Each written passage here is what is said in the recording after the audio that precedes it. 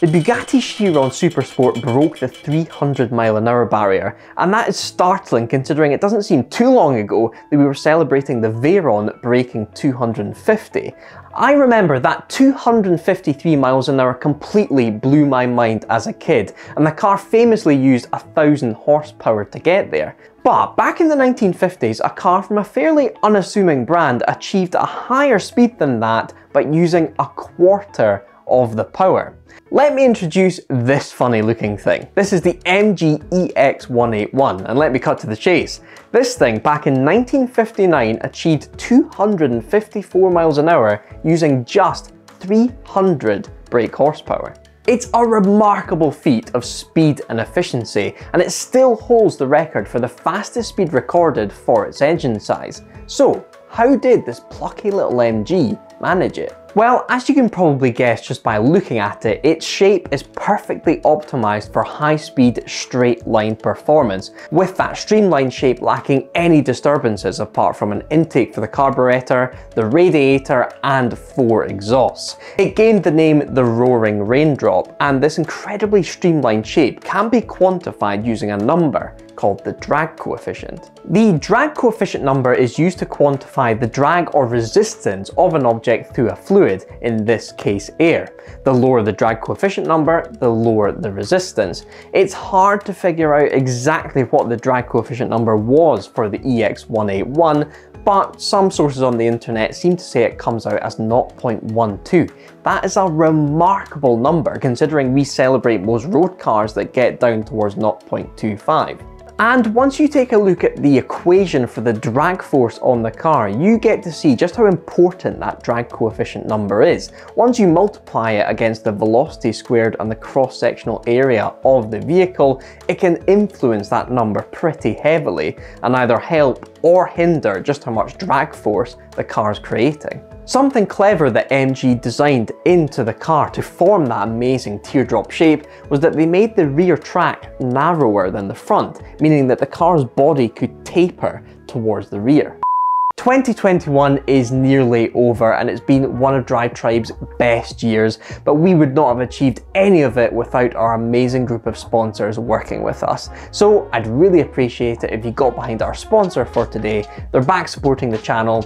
It's Manscaped. The holiday season is here, so if you know someone in your friendship group or in your family that you think could do with a bit of a tidy up down below, fresh for a Christmas or New Year's party, I thoroughly recommend you get them the performance package from Manscaped. It's all genuinely nice quality stuff and the centerpiece is this, the Lawnmower 4.0, a waterproof cordless trimmer that comes with advanced skin safe technology to avoid any nicks and cuts in those sensitive areas. The 4.0 even has an LED light to make sure you're not blindly trimming and instead are tending to your crop with style and precision. Then we've got the Crop Preserver Ball Deodorant, the Crop Reviver Ball Toner Spray, and of course the Weed Whacker with its 360 degree blades for nose and ear hair. And then there's my personal favourite and a set I use on the reg, the Shears 2.0 luxury 6 piece stainless steel nail kit. And if you enroll in their peak hygiene plan, you can get ongoing replenishments of your favourite products delivered straight to your door, hassle free. So click the link in the description below and use the promo code DriveTribe20 to get 20% off your package and free international shipping along with two free gifts. Your balls and your body will thank you. Thank you to Manscaped for sponsoring this video. Then there's the engine. The 300 brake horsepower wasn't created by some big gargling V8. It came from a tiny 1.5 litre inline 4. 300 horsepower from a 1.5 back in the 50s was pretty crazy, so here's the how and why. The reasons that the engine was so small were twofold.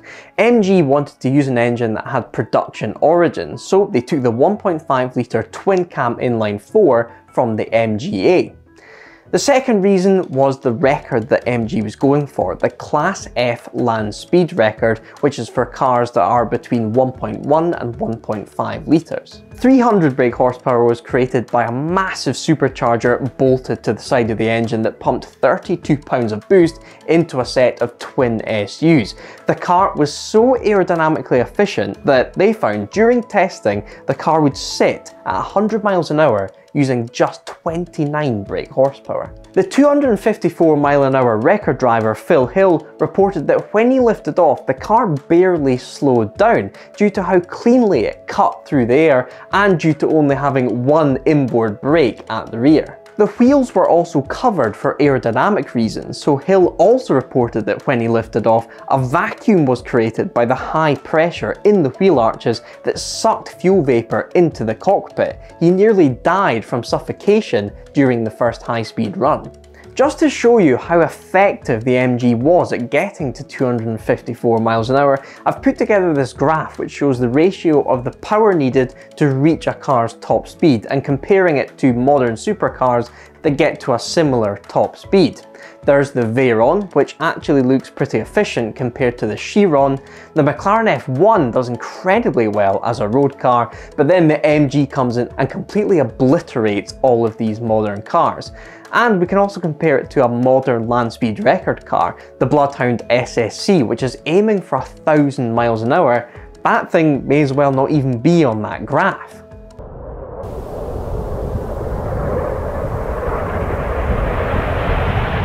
What this graph shows is two things. The first one being that if you want to go faster, you need to drastically change your aerodynamic efficiency and the power output of your car, mostly down to that V squared aspect of the drag force equation. This can really clearly be seen in the Veyron versus Chiron, and then when you look at the amount of power that Bloodhound needs to get to 1000 miles an hour, it gets completely blown off the chart. The graph shows that it's also down to your overall package. The Koenigsegg Agera RS is quite a bit quicker than the Veyron, but due to its lightness and aerodynamic efficiency, it doesn't need much more power to get there, which means it gaps the Chiron in this graph quite nicely. The MG EX181 is so far detached from a road car that it's being a little mean to these supercars, but 254 miles an hour from a car that has the same power as a modern Golf GTI makes this MG truly remarkable. And if it needs to look like this to achieve it, well, why not? Before I go, I'd like to hand it over to you guys. If our sponsor from today, Manscaped, was to build their own production car, what would they call it? Tell me in the comments below. I've been Mike, and don't forget to subscribe to Drive Tribe.